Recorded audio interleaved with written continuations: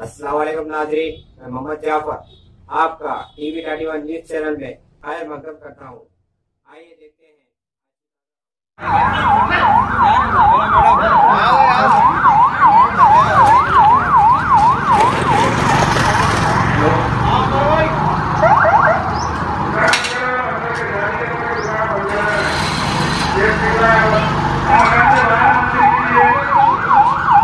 आराम को सेवा दी जाती है कोरोना वायरस इस गली में आ चुका है लिहाजा आप अपने अपने दुकानों को बंद कर दीजिए जहाँ तक लोहे की जाली लगा दी गई है वहाँ से दुकानें बंद कर दीजिए बिना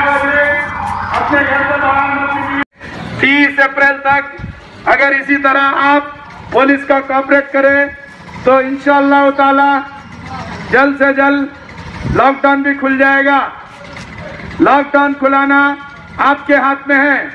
आप इससे ज़्यादा एहतियात करेंगे तो लॉकडाउन भी जल्द से जल्द खुल जाएगा। 30 तारीख तक आप इसी एहतियात का मुजाहरा करते रहेंगे। तो बीमारी का जल्द से जल्द खात्मा हो जाएगा। बीमारी का कोरोना वायरस का सिर्फ़ एक ही इलाज है, घर में बंद रहना। चालीस आदमी को कोरोना टेस्ट के लिए इस गली से लेकर गए हैं। खुदा ना खास्ता, अगर वो चालीस में से किसी को पॉजिटिव निकलता है तो बहुत परेशानी वाली बात है। अपने अपने घरों के अंदर रहिए।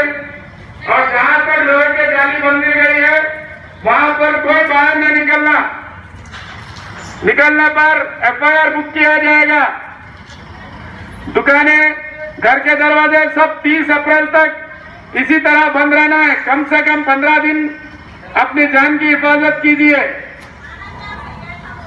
सब खाने के लिए भी ये हद में लाते हैं माल। सब खाना मिल रहा है, खाना बांट रहे हैं, सब बांट रहे हैं। आप लोग एक की जान की तरफ़ से सबकी जान जाती महल्ले की। बड़ा गरम पुलिस का साथ दीजिए। पुलिस की बात मानिए दूर दूर रहो भाई दूर कोई भी बिना वजह घर से बाहर मत निकलिए इस दिल्ली के 40 लोगों को कोरोना टेस्ट के लिए भेजा गया है बहुत परेशानी वाली बात है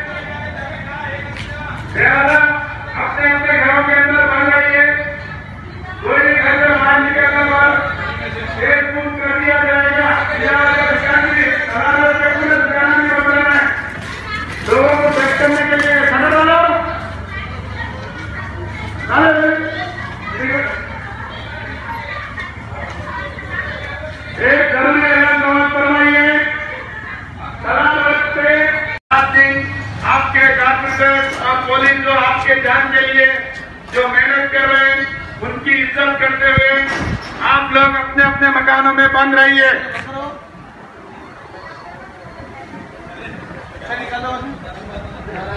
जो भी बिला बिला जो भी घर के बाहर निकलेगा, उस पे केस बुक किया जाएगा।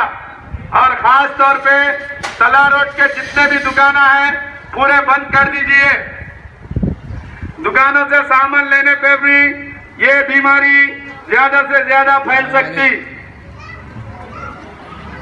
तेलंगाना जो भी अगर बिला बाहर निकलेगा वो अपनी जान गंवाने का पूरी जिम्मेदार रहेगा। क्योंकि इस कोरोना वायरस बीमारी का कोई भी दवा नहीं है। इलाज नहीं है। मौत ही इसका इलाज है। मौत आने से पहले अपनी अपनी जान की हिफाजत कीजिए।